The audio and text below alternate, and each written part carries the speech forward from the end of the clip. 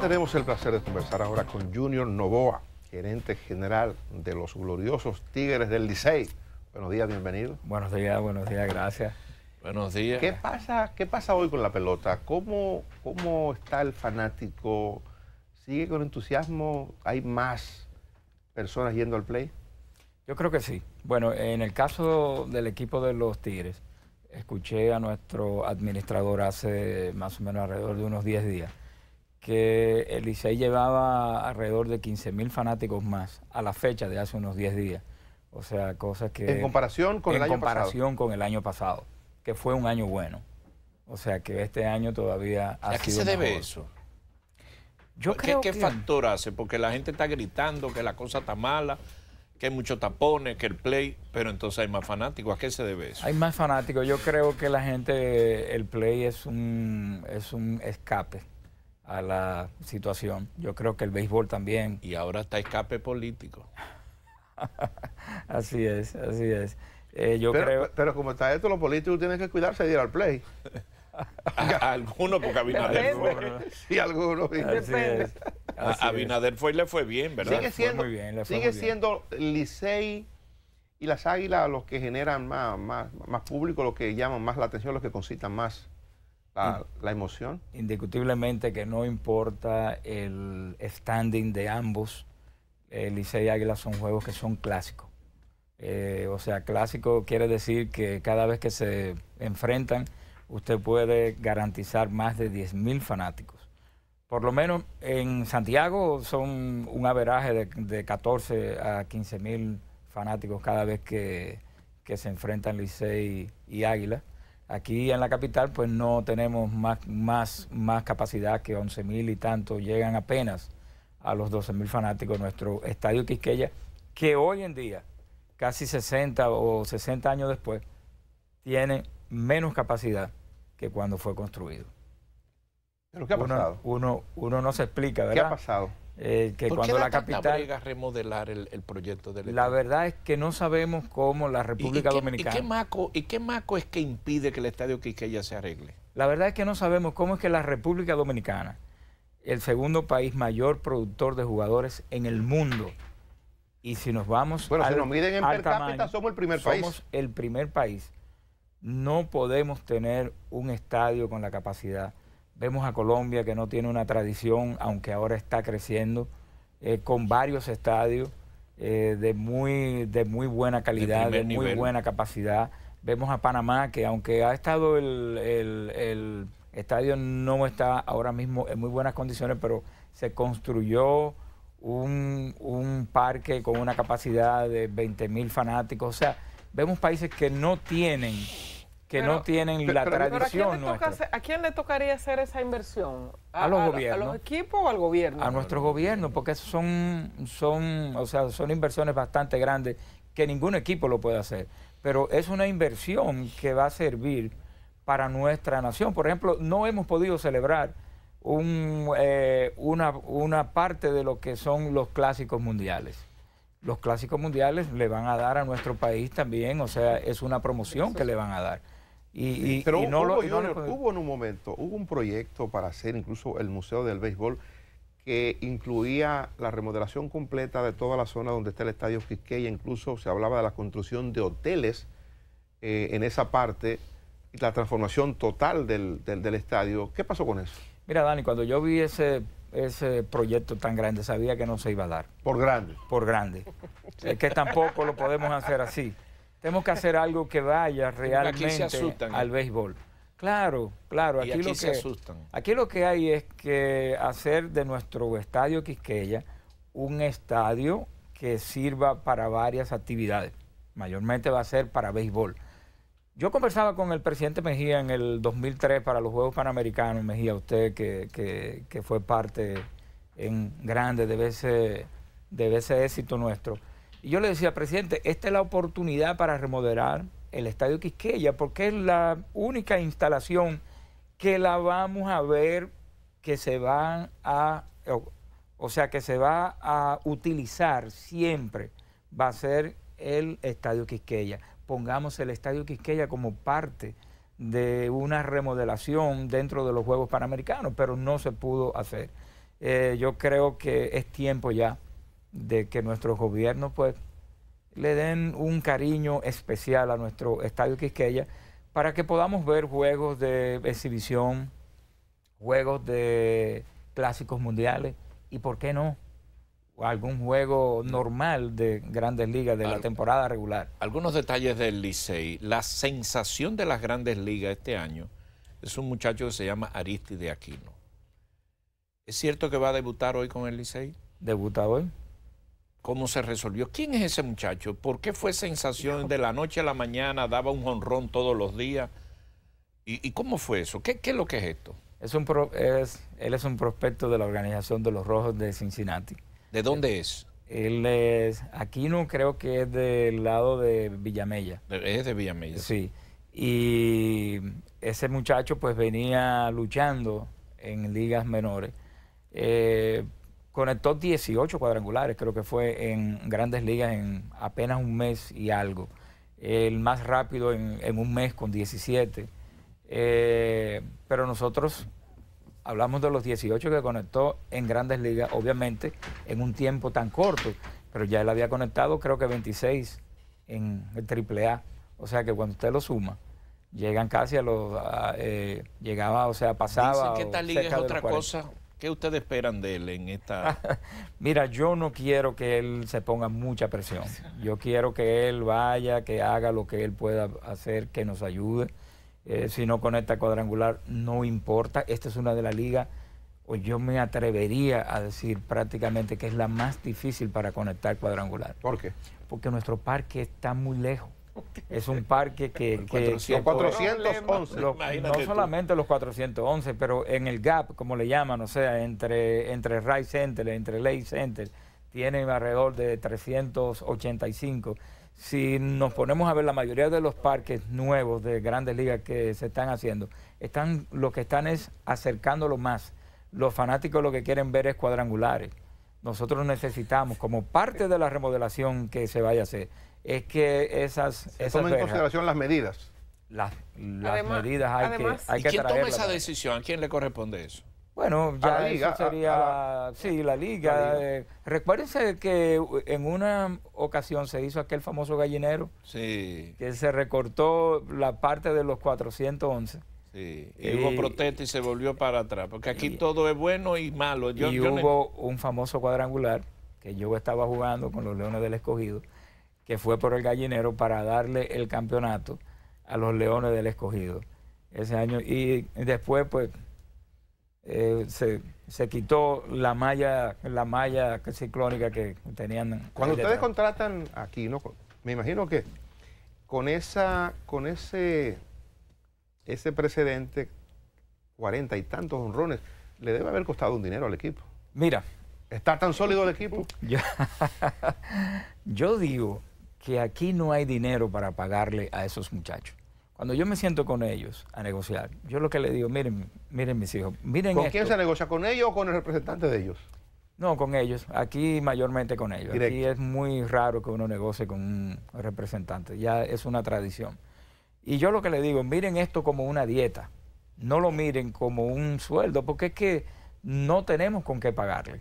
De hecho, yo creo que la liga debe de sentarse seriamente para poner salarios justos para todos, tanto para los importados como para los nativos, porque vamos en una carrera un poco alta, que va a ser difícil que se pueda mantener. ¿Por qué?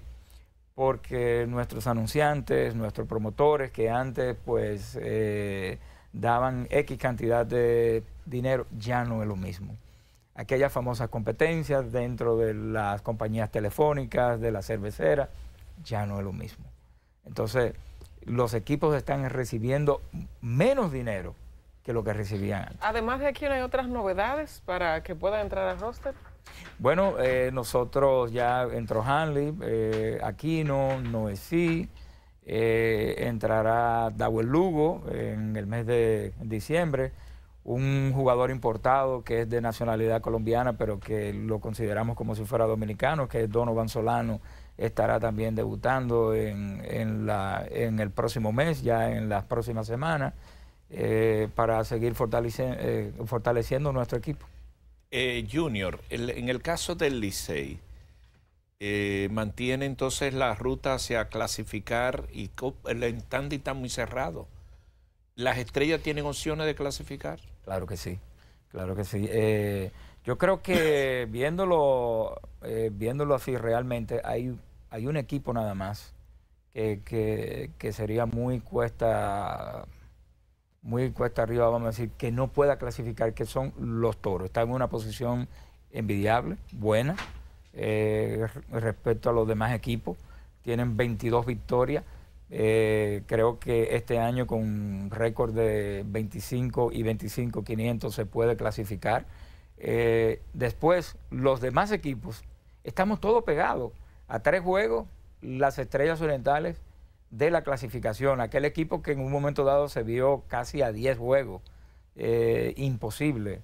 Que, o sea, que todo el mundo decía, no, no, pero esto va a ser imposible. O sea, están apenas a tres juegos. Escogido, Licey, Águilas, a un juego de la clasificación. O sea, segundo, tercero y cuarto están a un solo juego. Eh, el equipo de San Francisco a dos juegos de la cuarta posición. O sea, indiscutiblemente hemos tenido eh, los últimos tres años, creo que han sido súper interesantes en, la, en cuanto a lo que es la clasificación de todos los equipos. Eh, hemos visto como en, los últimos dos años, en las últimas dos temporadas, se define el cuarto lugar, el tercero y cuarto lugar el último día o el penúltimo día de la temporada. Eso te habla de que los equipos están muy balanceados, eso es muy positivo para la liga y por eso yo creo que los torneos se han dado tan interesantes. En el caso de tu cargo, así Perdón, Luisín. Cafecito Santo Domingo para usted. Claro, claro. Así como hay que decirle a, los peloteros como Aquino que lo vean como una dieta, también hay que decirle eso a ustedes cuando lo contratan. Porque voy a lo siguiente. En el caso del joven. Explíqueme explíqueme. Una dietecita, Mejía. En el caso del joven. Se refiere a la designación de gerente general. De gerente general. Bueno, este, el jefe, jefe, gerente general. Porque en el caso del joven que está aquí, acaba de ganar un premio internacional por una organización de las grandes ligas. Explíquenos qué fue eso un mérito muy codiciado que lo recibió. ¿Y por qué lo recibiste? Mira, eh, me lo van a entregar en, diciembre 8. Es un, es un premio que se le da al, empleado eh, que más ha ayudado, que más ha incidido para que su organización, los jugadores, los empleados, pues puedan desarrollarse y puedan y, que este empleado ha tenido eh, más incidencia eh, para que su organización también pues Esto pueda es Diamondback Arizona. Esos son los Diamondbacks de Arizona. Pero el premio el premio no es de la organización. El premio viene de todas las organizaciones ah, a las personas. De todas las organizaciones sí así es. Oh, pero eso es un premio grande así es. Entonces usted lo recibe y, es la primera vez que, acontece esto. Eh, sí, eh, bueno, que, yo pues, recibo ese premio y pues que un dominicano lo hace también. debe estar muy contento. Así es, así es. Yo comparto con, con, mi padre, que comenzó conmigo desde el principio, eh, con un gran número de muchachos que han estado trabajando junto con nosotros para para que esto sea Pero usted tiene un hermano que firma jugadores más importantes que usted. Usted, tiene un hermano que ha, logrado... Eh, usted es Junior Novoa el que jugó, pero él tiene un hermano que ha sido más exitoso como scout y me dicen que es el número uno. ¿Es así? Bueno, mire, él... Iván Novoa es una, como una especie de leyenda. De, como scout independiente tiene los récords de, de los mejores bonos, tengo entendido, para los muchachos jóvenes prospectos Explique eso, o sea, que él firma el, precio más alto. Estamos en dos áreas diferentes. Yo soy el que lo firma para las organizaciones de grandes ligas. Él es para la cual usted trabaja. prepara. Él hace, la, preparación, la selección. Él es el que lo prepara. Tiene, la verdad que tiene un ojo clínico bastante bueno porque Uno lo tiene ya cuando los muchachos tienen 15, 16, 17, 18 años. Pero él lo toma desde los 12 años y lo va preparando desde los 12, los 13. ¿Cuál es grande ha firmado él? Bueno, ahí está Mazara. Horacio eh, 5 millones de dólares. Así es. El último jovencito que se firmó también, no recuerdo, creo que apellido Guzmán, fueron rompió el récord de Joel Mazara. Tiene un, porcentaje, eh, eh, escuché que tiene un porcentaje más o menos como de un 60 a un 70% de los jugadores firmados por su academia que juegan grandes ligas. ¿Un 60-70%? Así es. Alto. Pero eso, es muy alto. Los hermanos eh, Bonifacio, un grupo grande. Él tiene un grupo grande de, oh, muchachos. si tú tienes una finca y te firmas. ¿Cómo va la producción de peloteros? digamos que en esa parte, ¿qué tan bien andamos? Dani, eh, esto, esto es increíble. Esto, cuando la gente a mí me pregunta, oye, pero ¿por qué?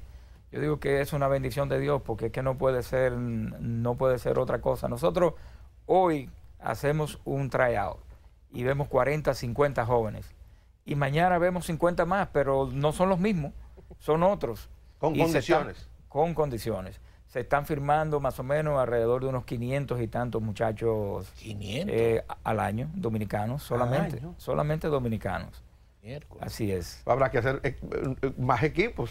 Y eran más, eran más. El crecimiento de Venezuela eh, porque anteriormente recuerdo que éramos una suma de casi 600 y tantos dominicanos, eh, cientos y tantos de venezolanos, puertorriqueños que había bajado, llegaban a los 40, 50, eh, colombianos ahora vienen subiendo un poco, mexicanos, por el sistema que ellos tienen no se firman tantos. Tú eres pionero de haber creado aquí los complejos en, terrenos así baldíos y lejanos. Creo que fuiste pionero para Boca Chica.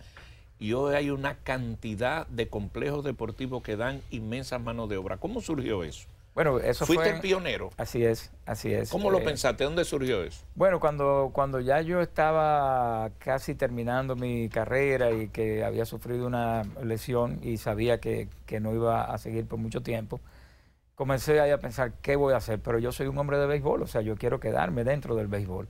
Y entonces tuve la oportunidad de que jugué para varios equipos y cuando veía, sí, de grandes ligas y cuando veía las condiciones de los estadios que teníamos acá, que eran alquilando play de pueblos o de ciudades que estaban en muy malas condiciones y que en una casa se quedaban 25 y 30 muchachos con un baño, que eran condiciones malísimas.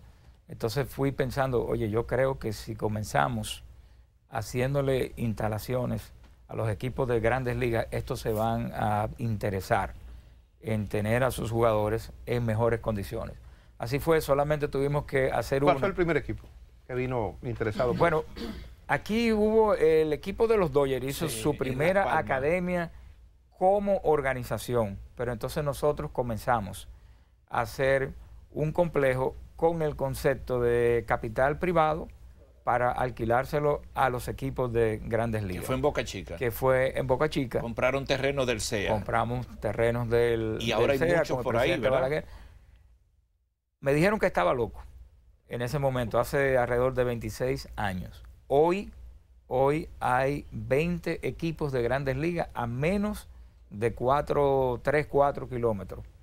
Habemos 20 organizaciones de grandes ligas. Con sus complejos grandes y de, grandes ligas. Se acaba de inaugurar ahora, hace apenas creo que una semana, 8, 10 días, eh, la organización de Texas, una, una academia de, de, 12 millones de dólares. O sea, para que ustedes tengan idea, la menor inversión que se ha, que se ha hecho por ahí eh, tiene que sobrepasar los 4 o 5 millones de dólares nuestro país, eh, bueno, para que, para que sepan, estamos alrededor de unos 200 millones de dólares en inversiones todos los años de los equipos de grandes ligas, entre bonos, eh, entre los gastos de las organizaciones, los pagos de empleados.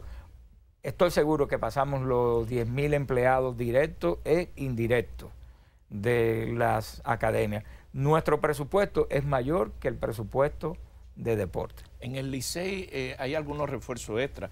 Cuénteme la historia de Franklin Mirabal. La gente es ciertamente que está ya eh, fascinada, y está, está en el insight y los jugadores oyen eso, ¿le motiva o qué?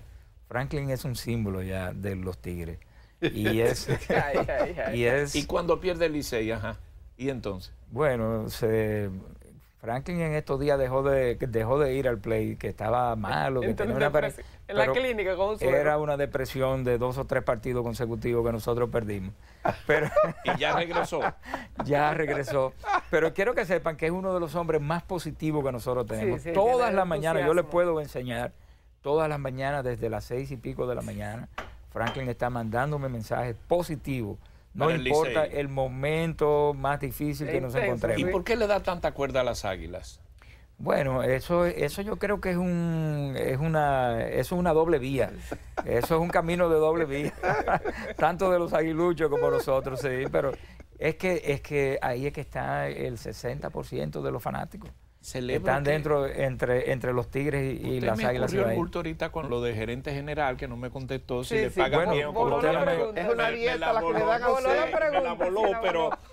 Es una eh. Si usted quiere, yo le cambio la pregunta, pero todavía no contesta. Hágasela de nuevo, pero de otra manera. Mira, sí, le voy a preguntar. Yo veo que celebro que los gerentes generales hoy son dominicanos, mientras que los managers son extranjeros.